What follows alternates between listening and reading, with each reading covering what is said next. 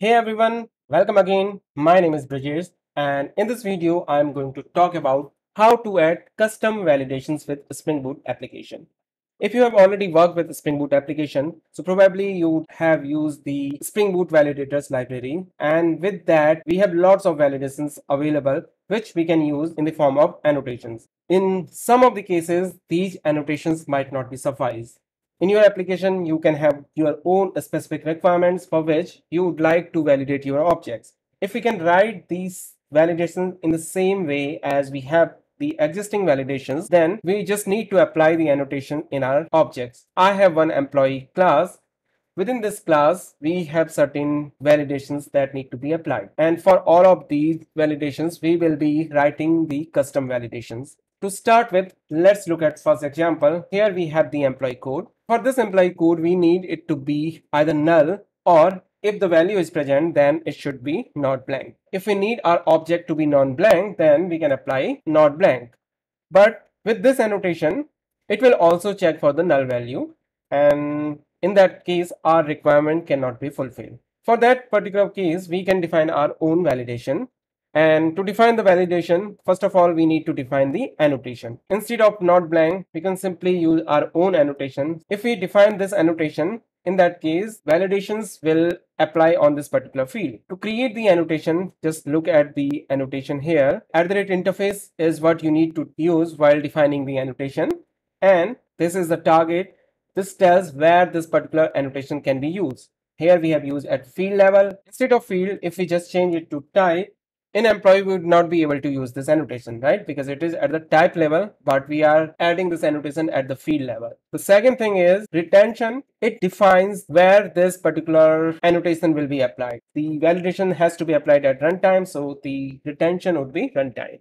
And the third thing is the constraint. Whenever we are applying any validation we need to apply the constraint and this tells what particular logic will be applied to validate the attribute. So here we have the employee code which need to be validated. This will be applied by the type that we define over here. So this validated by takes the type which extends the constraint validator. Here we have defined one null or not blank validator. So we can just use it. This null or not blank validator has to be of type constraint validator. Just implement the constraint validator. This takes two type parameters. The first one is the annotation type. So here we have the annotation type null or not blank and then we have a type T. The type T is defined by the attributes that we need to validate. So here for employee code, we have a type string. If we make the type of our validator as a string, so we can use this validator with the string types. Now implement this and here we have two methods. The first one is the initialize so it simply initializes the class with some of the values that we can pass from the constraint annotation. This is the default method within the constraint validator. So we can skip it because we are not doing anything over here right now. But the second method is required. This is the method that will be called to validate the string type. Here we can define our own logic. To verify this validation, we have defined the employee test. So here we have lots of tests. Let's look at the first test which verifies the blank employee code is invalid. Okay. Whenever we have the validations that need to be manually validated, we just need the validator. And here the validator that we are getting is from the validation factory. And we can just call this validator by passing the employee object. Similarly, you can pass different objects and it will return the set of the constraint violation of that particular type. Let's look at the employee object. So here we have the employee code which is empty. And this is what we want to validate if we are passing the empty code then it should fail and it should throw the constraint violation. Let's run this test. Test is failing and it says constraint annotation but does not contain a message parameter. In our validator we are using this constraint. Whenever we apply a constraint annotation we need to add few attributes over here. And this is what we can just verify by looking at some of the existing validators. So like we have the not empty, not blank, right? So here we have the message, groups, and payload. These three attributes we need in our annotation. The first one is message. This method returns the value of the message that need to be added when any violation happens. Then it is a groups So by default, it does not have any implementation. If you need to implement your own, then you can define your own interfaces. So groups basically defines the grouping of the validators. We can group the validations among the different groups, but mostly you might not be using it. So let's park it for now. Similarly, we have other type payload you can extend your class with the payload and have different methods in it. And in the validation you can just use the method within the payload. Again we are not going to use this payload. The message which is what we are interested in. This is the default value that we can use. If we run the test now only the assertions are failing.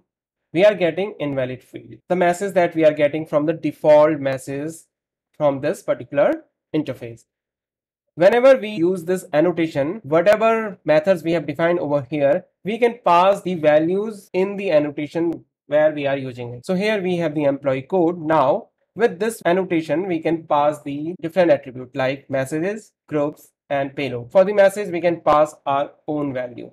So in this particular case, let's pass this value. And if we run this particular test, so we have got the positive result.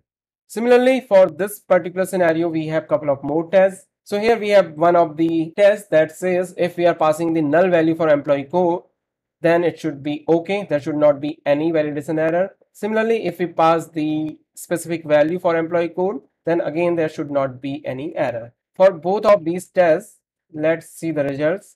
Of course, these are failing and they are responding with the error because our null or not blank validator is returning false. So whenever this validation will be called, it will always return false. So we need to fix this and the requirement that we have is whatever value we have, it should be either null. We can just add the objects dot is null and the value or it should be non-blank. In that case, we can simply use the strings utility and here we have is not blank and just pass the value. So now if we run these tests, test is working fine. Now let's look at one of the other scenario. There is a possibility that we have dependent fields. So here we have a name, first name and last name. If we have got the name, then first name and last name are not required. But if we don't have the value of name, then first name and last name are required. We have a dependency among the different fields of the employee type. So in this case, we cannot apply the annotation at the field level because if we apply the validation over here, it will only validate this name. In this validation, we need whole object. For that, here we can define the annotation at the class level. We need to validate the name so we can just define one more annotation name valid here we have the annotation that we have defined if we just change it to field type employee will not work because now it requires the validation at the type level okay so here we just change it to type we also need to provide a validated by add the validator name validator. Within this name validator now we need to implement the constraint validator. Annotation type here. So this is name valid. Instead of the string value the type that we need to validate is the employee. So here we have the employee type. Similarly we can just implement the methods. So we just need is valid method here. We need to check whether the value of the name of employee exists if that is not there, then we need to validate the first name and last name. We can do the same thing. Strings dot is not blank, value dot get name, or then we have the conditions for the first name and the last name. Value dot get first name and strings dot is not blank, value dot get last name. We can just get the employee object and then we can pick different fields of the employee object. To validate this validator, we have test cases. We have one of the tests which verifies the invalid name attributes. Here we have name, first name and last name. All of them are blank. So in this case, we should expect the validation error. Another test which says if we have the name but first name and last name are not there, then it should be okay. Similarly, if we don't have name but we have first name and last name, then it should be okay. Let's run all of them so the tests are successful. I think this is missing. So let's run this test as well. So we are able to apply the validations on the class level. Let's say we have same kind of requirement over here. We have email field and the phone field. If email is there, we are good. Otherwise, phone is required. Pretty much same as what we have over here. We might need to create another validation. Similarly, we might have other objects where fields are dependent on each other. Then if you would write the different validators, then we might be repeating lots of code. We can write the single validator which can be applied on all the types. Instead of this name valid, we have another validator which is conditional valid. Let's use the conditional valid. So instead of employee, we need the object type that need to be validated. So we need to validate the name and we have the dependent fields like this in this example and here we have just one field let's say we have one attribute field which is what we haven't defined as of now but let's keep it like this so we have the name similarly we have another attribute which is dependent fields and for this we can pass the array because we need multiple attributes over here. In this particular example, we have the first name. Similarly, we have the last name field. What we need is we need to define two fields. One is field, another one is dependent fields. In the annotation, we can define the create method field. Similarly, we can also define the dependent fields, which is the array of a string. And with this validated by, we need to provide the validator. So here we have the conditional validator. This needs to implement the constraint validator. We cannot validate any specific type such as employee because we need to make it generic. So let's pass the object type here and we need the implementation. Now we will use both the method is valid and initialize. In the initialize method, we need to initialize couple of fields. Whatever field that we have defined over here, like field and dependent fields, we can access these fields in our validator. Here we have the constraint annotation.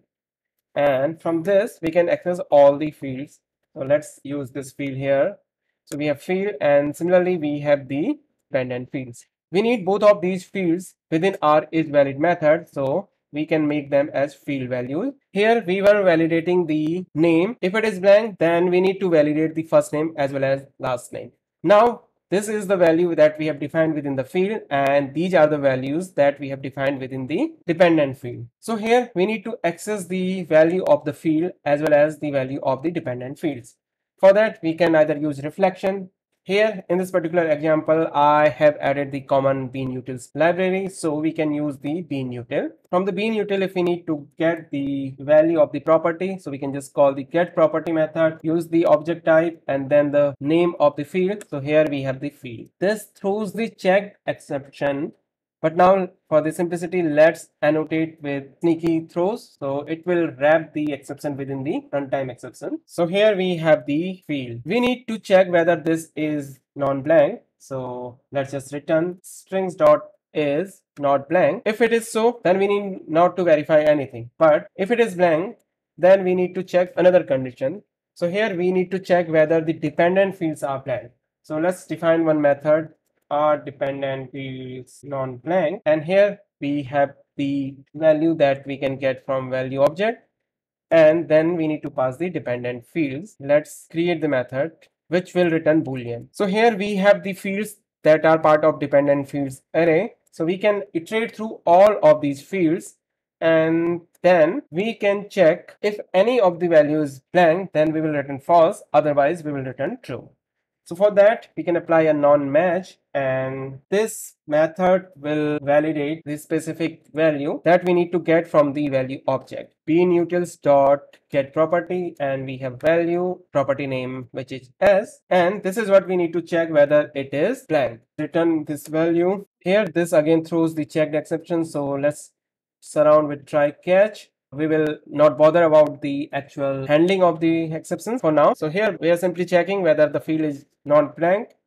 If it is not blank, then return the true, otherwise validate. If dependent fields are non-blank, then return true, otherwise return false. We have used this validator in our employee. We have the name related tests that we can verify. Okay, one of the tests is failing and test failure is because of the message that we are expecting. So here we are expecting this message and we are getting invalid. This is a generic validator. So we cannot pass this specific message over here. However, we can pass the message from our validator. We can pass the message like this and the value like this. So it should be okay. The same validation we need for our email and the phone attributes. So we can just duplicate the validator here and instead of this we can use email and here we have the font compilation error and it says that duplicate annotation. The declaration of conditional valid does not have a valid annotation repeatable. Let's look at the interface. If we need this to be reused in the same class multiple times, then we need to apply a annotation here which is repeatable. And then we need to define a repeatable type. We can just get the idea from the existing validators like not empty. Okay. So here it is again a repeatable type that takes a list. The list is being defined like this. So we can just copy this guy here and let's use it. And here we can just use the list here. Instead of not empty, we need conditional valid. Again, it is having an issue and that says this list is not a subset of target of this annotation. So here we have applied the target type and here we need to have the same type or the subtype. The error is gone now and in our test case, let's see the test cases here related to this validation. So all of them should be successful and this is what we have got here. This is how we can add the validation at the class level and now this conditional valid we can use in any of the object that you define. We have one more requirement here and this is the final one. Here instead of one of the values we need the both the values. If verification id is there then we need verified by. So we can define the annotation in the same way as we have defined over here. But if you will realize both of these annotation had more or less same logic except for some condition changes. We just need a specific field and the dependent fields. If that field exists then we need to verify that the dependent fields are also available all of the logic we have written over here now we just need one more condition if that condition met, then we will get this result. Otherwise, we will be looking at the different response. But the rest of the logic can remain same. To make sure we are able to use that, we can add one more field which is a boolean type which will specify our condition. So the first scenario is when we have mutually exclusive dependencies. So let's add the one of the method which is mutual exclusive and now we need to apply this within our annotation. By default, let's give it a value as true value. If this value is true, in that case, we will be using the same logic as we have used here. So the condition is if it is mutually exclusive, then return this. If this field value is not blank, then the dependent fields should not be blank.